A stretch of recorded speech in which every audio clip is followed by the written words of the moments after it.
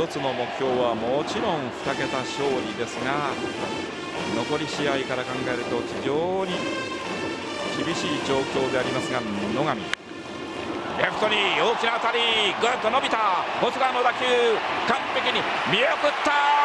細川。第5号のソロホームラン。先制点はホークスです。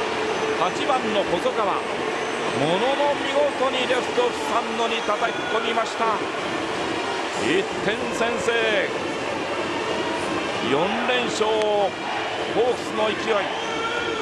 今日先制点です。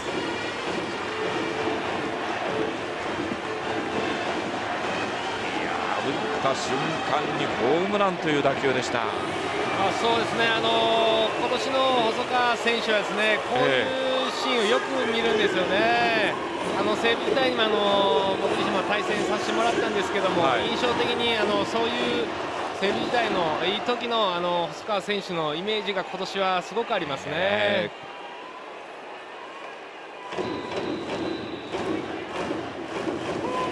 3回の裏ホークス先生